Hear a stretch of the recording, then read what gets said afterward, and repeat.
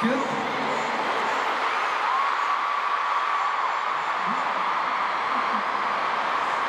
어, 저는 이번에 미국 LA에서 쉬는 동안 어, 낚시도 하고 또 놀이공원도 다녀왔어요.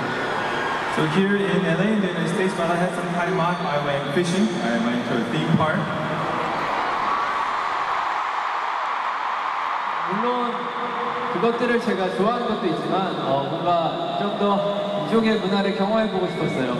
So these are these are things that I like, but I also wanted to experience a little bit of the culture here. 굉장히 재밌더라고요. and it was really fun.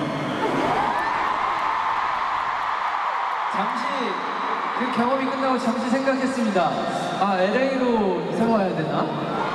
So after I had these experiences, you know, I had a thought, maybe should I move to LA?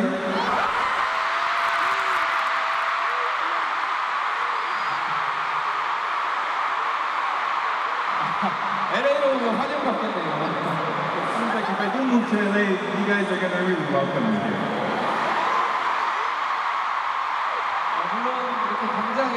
여러분들 곁에 이렇게 LA로 올 수는 없지만 항상 제 마음은 여러분들 곁에 있다는 걸 알아주셨으면 좋겠습니다. So of course I can't come to LA right now, but I want you to know that I am always, my heart is always with you and by you.